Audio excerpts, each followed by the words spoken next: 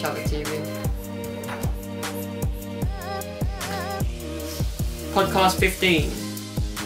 Podcast 15. Wagwan, my G's. Wagwan, Wagwan. Do you know what I know? What is up, people at home? Um, wherever you are watching this video from, good evening, good day, whatever time of day or night you are watching this from wherever you are in the world. Um, yeah, it's good. It's good to be back. Uh, I say that every time, but like, that's how much this means to me. And uh, yeah, it's been a, an up and down few weeks. Of course, there's a war going on out there. Well, invasion, whatever you want to call it. Uh, that's terrible and yeah, uh, it's not what you want to see. But it's what we're going through, and people are scared. Uh, we've had two years of a pandemic, so you know if we can deal with that, we can deal with this. And that that sounds kind of harsh, but yeah, that's how it is. And uh, yeah, we're supporting Ukraine. That's it. Like you can't be bullying people like that. Like I never trusted any politicians, especially that Russian one. Like, um, yeah, but you can't blame every person.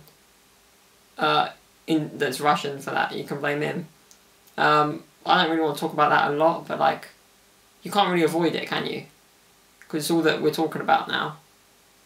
I mean, it's one thing to not be able to go out because of a pandemic, but I think those people that you know, they're losing their homes, they're losing their lives, um, for a war that's just, or an invasion is just pointless. Um, you know, this is bully is bullying essentially.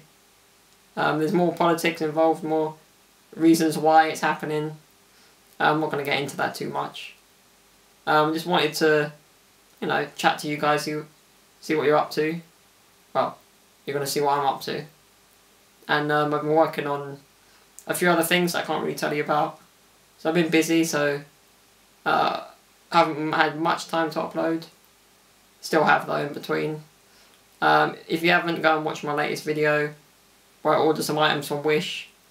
Um, and it's quite funny in the end. Kind of did get what I asked for. Like, there weren't any mix-ups really. Which I, I was hoping there would be. It would have been better for the video, more funny, but... No, I enjoyed that video and uh, I might do another one again, but like... I've seen other YouTubers do it and they've got money. Like, lots of money to spend, so they can be, be on there all day.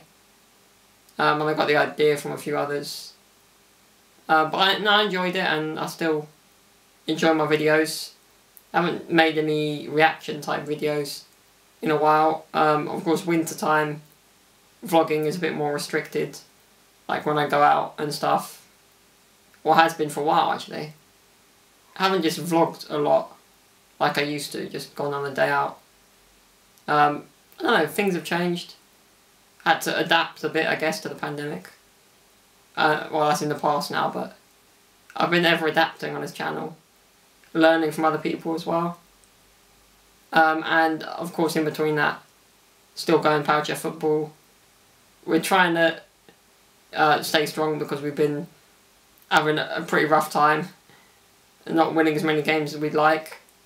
Um, losing a bit of focus here and there. Uh, it just happens sometimes.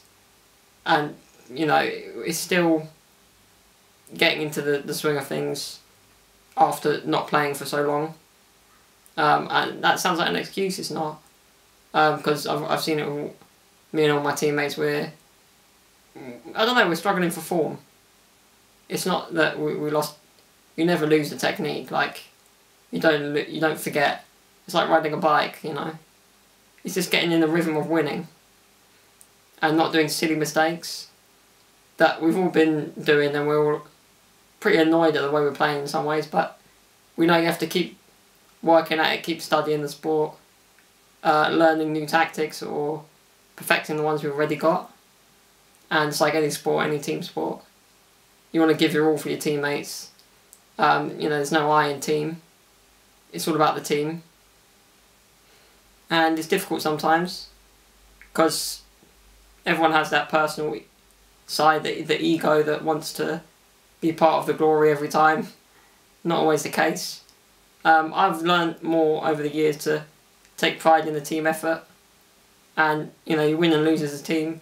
No one goes out and says, "Oh, this is all my fault," or when they win, you know, I, I you know, it's a team team effort in both situations, taking responsibility because, you know, if one player's like, "Oh," um, thinking for themselves instead of the team, then that's bad in either situation.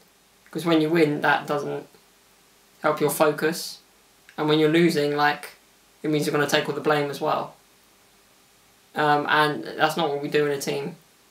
And it's been difficult, um, but I think we're getting through it. I, I'm always positive minded about these things. I've been all it's motivated me to work harder, to study other games, other teams, teams we're playing against, teams at higher levels, uh, teams on our level too, and hopefully we can recover from this bad run of games. It's been training and regionals and the cup game, but the the the main thing is the championship weekend in Nottingham coming up on the twelfth and the thirteenth. And like as you guys know, I've been pretty ill here and there from like September time over the new year, things like that. So I'm still not 100%, I don't think. And I felt that more than ever at Powerchair Football. Uh, just the effort. Like, um, just like someone's washing their hands in the kitchen. but just like the effort I've put in. And I've been more tired after that. Same amount of effort I put in all the time, 100%. And I've not felt I've been able to really go at full tilt, at full speed in terms of like mentally and physically. That's been a bit difficult. I've noticed that and, I, and I'm realising that. And my teammates accept it. And everyone involved accepts it. Because we're all at different levels, different conditions. Um, even with same condition, someone's different to someone else. Everyone has different uh, needs, different skills, different weaknesses that as a team we have to help each other out with. And if you know each other's weaknesses, you could help someone out with their weakness with another skill you have. Like for example, in my situation, um, I've I've got restricted neck movement, so seeing the ball when it's behind me is a bit more tricky. So whoever's behind me on the pitch can tell me, or it should be telling me, you know, the ball's there, or hit hit it, spin that way, turn left, turn right. Likewise with other teammates, helping them with the, with their weaknesses uh, the best way I can. You know, we've got to be focused out there. We've got to be. It's got to be like you're going to war. I, I'm not. You know, I'm not trying to kill the opposition, but you've got to just flip a switch, and be like, okay, I'm going to war. Forget all the banter, all the, the things you do in your normal life. In my case, forget the social media. Forget the YouTube persona. Just. Just do you. Uh, you know, release the, the inner the inner demon, if you like, or beast or whatever. It's like a fighter when they step in the ring. They have to switch on. They have to be in fight mode.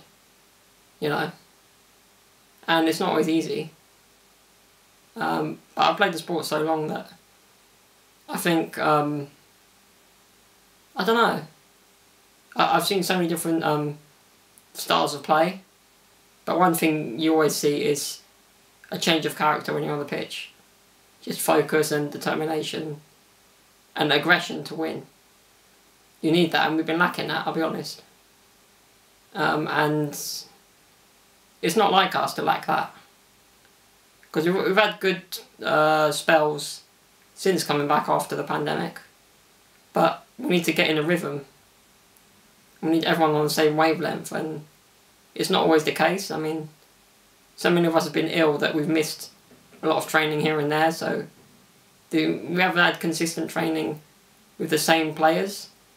One or two are always there, credit to them. Uh, respect, you know, mad respect for anyone that is able to be there every week. Um, and I feel bad because, you know, I, I've been ill, but I, otherwise I'd be there. And again, you know, who's making excuses? I'm not one to make excuses. But yeah, one thing I've seeing as that we're all, you know we're all different ages as well. I, I mean, some of us older, some of us younger. Some of us, you know, somewhere in between. But um, no, I, I love being part of a team. I always have, regardless of what team. Um, I've always, well, I'm grateful for what I've learned from other teams in the past and players that have taught me a lot about the game and uh, given me good advice. Um, of course, there's different approaches, and you know you've got to enjoy it. But like I said, you've got to be focused you're on the pitch. You've got to be a different animal. You've got to be ready for war. And still, you know, that's not meaning charging to every player you see on the pitch at full speed, every tackle. You've got to be tactical about what you're doing and take responsibility because you've got to think in that moment. Some of it's not, oh, we did this in training, we learned this, we learned that. It's in the moment, react and do what's needed. And not everyone sees that sometimes. And obviously, like, I know what I'm doing. Um, but there's times when maybe we're using different tactics um, and it doesn't always go to plan. Um, I just play my game some of the time and just do what I try and do what I do best. Remember those best positions to score the goals or help in defence or whatever it is. And sometimes it's frustrating because you're at the other end of the pitch and you're not quite involved. And then suddenly the ball gets to you, what do I do? You get that moment. I know what to do, but it's like, bloody hell, after 10 minutes I finally got the ball. You let me do something special and it doesn't always work. Just keep it simple. I do tell myself that a lot, but like sometimes we just want to go for the spectacular.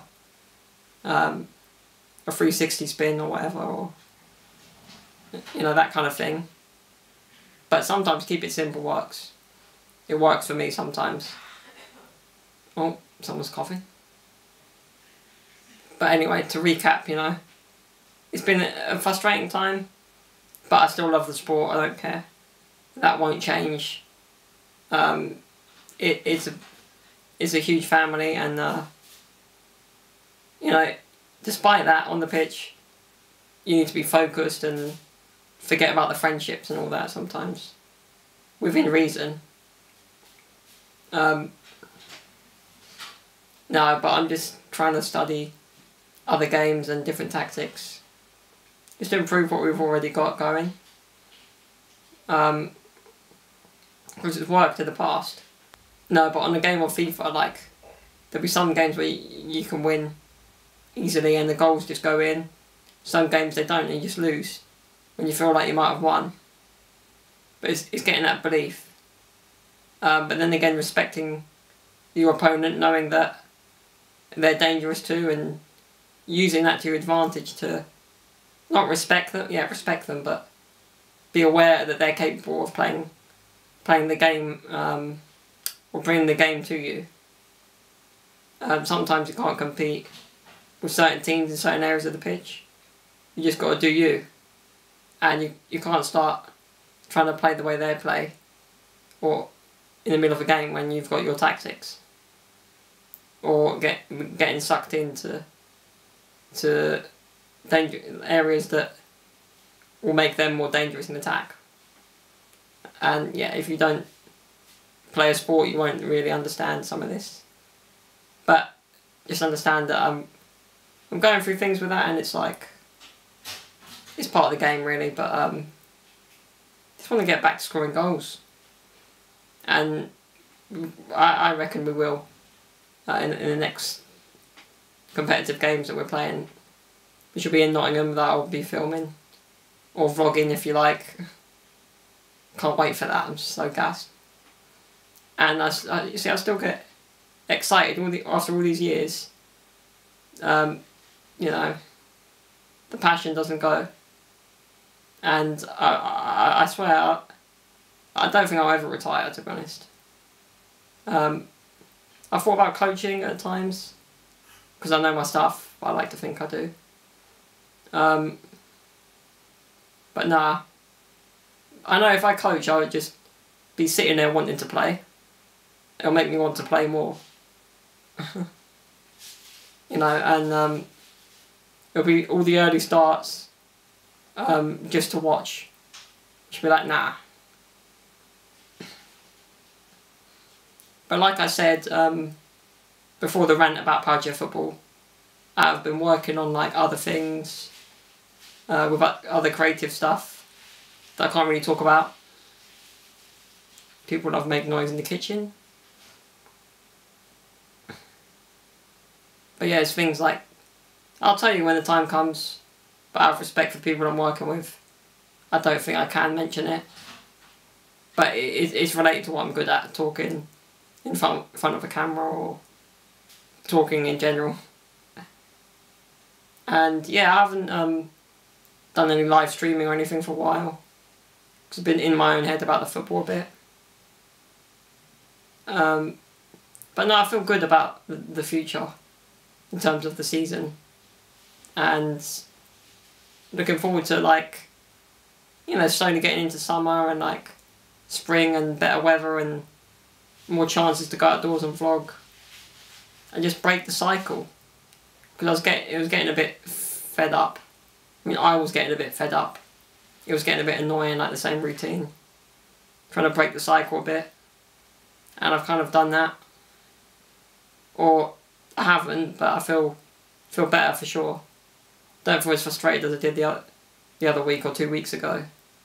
But everyone has their moments, their off days, their switched on days, and maybe that's contributed to my lack of, not lack of form, but like not playing my best on the pitch, distracted by other things that you just got to forget about when you're on the pitch. And being on the pitch is designed to, or playing the sport, taking my mind off these things. But those, those things have overtaken my thoughts sometimes. Um, I'm an overthinker, I know that. It's good in some cases, but sometimes it's got to be more decisive. I say, okay, I'm doing this or I'm doing this.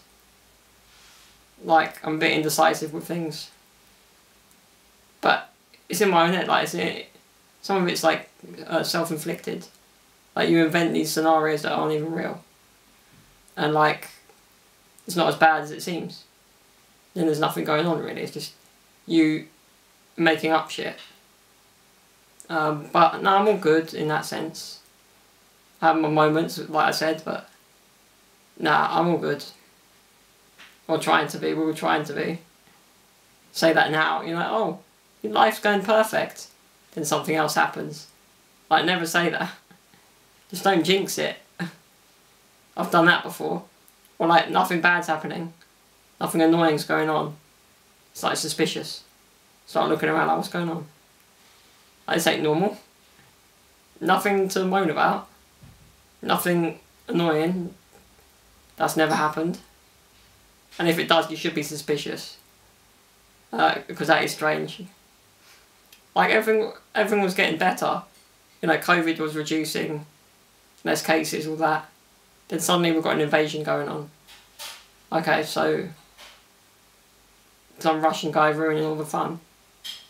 Like, can't we have some peace and quiet world? Like, just chill for a week. Just chill out. Give us a break. And there's a lot of stuff going on in the world like that. Um, course, Chelsea need a new owner, or will do, because yeah, Russians have got to run away from the UK, scared of the sanctions that might come, or should come. Um, but then again, it's funny because Keir Starmer's a uh, an Arsenal fan, and he's the one saying, "Oh, they sh- should sanction Abramovich, Chelsea owner." Um, that's probably why he's doing it, but um, as a Tottenham fan, I, am laughing. Um, in, they might get some other rich owner, that's the problem. And then I won't be laughing. We need a rich owner. Well, we've got one, but he don't spend anything. I'm not going to talk about football too much. Uh, I'll talk about enough about Power football. And some of you haven't even seen it. Or might not have seen it. Uh, many of you have, and many of you are players as well, so you probably, I don't know, like, every team goes through spells where they're not playing too well. But the longer it carries on, the worse it gets, or the worse you feel about it. But then a goal can change everything. One game can change it all. Or a good game can even make you think, okay, we're out of this rut. And then next game, you're in it again. You know, or a really, really bad game will make you get into gear and realise, okay, I'm not playing that bad ever again. Because sometimes it can't really get any worse. It's the same with life, like, yeah, the only way you realise you you gotta get better is when you hit rock bottom, really. When you just hit your rack, the end of your, you, just no patience left. Like, yeah, that's that's what it is really. Um, and yeah, so I'm, I'm overthinker, but when it comes to like mental health, there's been a lot more cases of that since pande- the pandemic, and I'm more aware of it now. And maybe that I don't know, got me thinking about it more. But we all go through phases, I guess. But like, not if it's continuous, then that's different. I haven't got crippling anxiety. Well, half of that is true. I'm not going to be out here offending people. No, I don't want don't have people offended by what I'm saying here. But we live in a crazy world that we're just everyone gets offended somehow. But TikTok has got to stop with the World War Three memes. That's ridiculous. But I mean, if you can't laugh, then what are you doing? Like British humour, we, we're the best at laughing at an absolutely horrific situation. Uh, like someone's just died and we're just making some sort of joke about it. But you know, not not in a bad way. Or sometimes, but it's not intended. But British humour is just unique. Satire, you know, sarcasm. We're the best, and uh, no one else understands it. Like in Italy, there's there's some satire, but not on this level. Some of the jokes that I could tell here in a pub, in Italy, like you, you wouldn't get any laughs. People would actually take it seriously. Like, how can you say that? But yeah, it's cancel culture. But a pub conversation is different. Can't really cancel that, can you? Well, the lockdown tried to. Didn't get very far. All people did is stay at home and drink more. And despite all the emotional stuff with COVID, the first lockdown I was good. Weather was good, I was at home, um, eating a lot, drinking a lot, just enjoying life. Yes, you had this dark shadow of, oh my god, it's like an apocalypse looming over everything.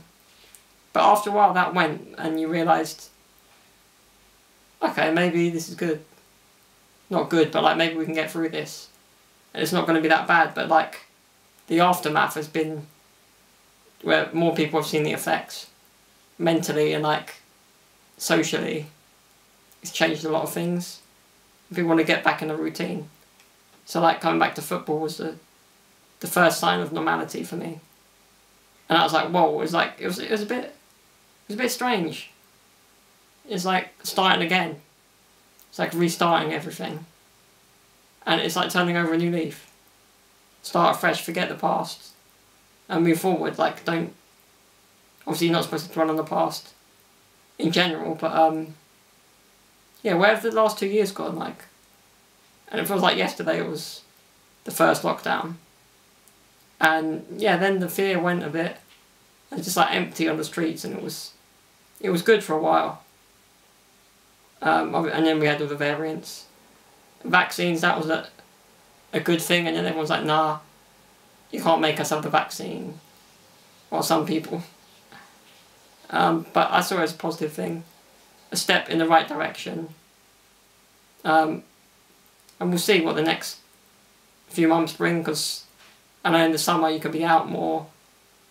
You know, you don't have to be indoors so much, and spreading of COVID is a lot lower just because all the outdoor places. out like restaurants you can eat outdoors.